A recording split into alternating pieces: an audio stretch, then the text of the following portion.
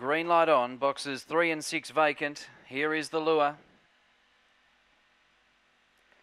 Racing now. Party Hotshot dwelt. Diesel Dungy flew out and leads. Blank Space. Party Hotshot recovers to third. And then came Just a Champ. Blank Space ran wide at the front of the field. Masoni copped a bump and Adonis is out the back. Party Hotshot's hit the lead. Diesel Dungy's gone a miss. Party Hotshot raced away. Clear of Just a Champ. And then Blank Space. Adonis a huge place chance ahead of Masoni, but it's all over. Party Hotshot's out by 10 lengths. Just a Champ. Adonis is flashing through in the centre now to run second. But Party Hotshot Hotshot runs 29.15 after missing the jump.